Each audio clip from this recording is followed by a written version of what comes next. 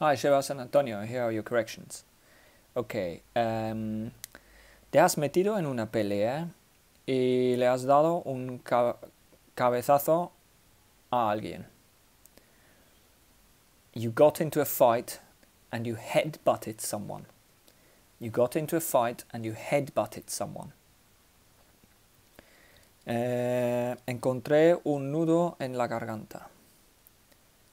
I found a lump in my throat. I found a lump in my throat. Em, 10.000 euros al mes no está mal. 10,000 euros per month isn't bad. 10,000 euros per month isn't bad. Eh, mi pierna estuvo escayolado durante seis semanas. My leg was in a cast for six weeks.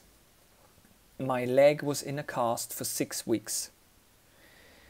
Then we had some vocab. So we had uh, cicatriz, scar, scar, em, voltios y amperios, volts and amps, volts and amps.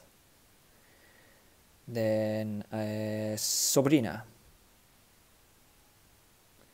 niece, niece, sobrino, nephew, nephew. Eh, pinchar, to puncture, to puncture. And then we've got the sounds. Were, were, as in we were,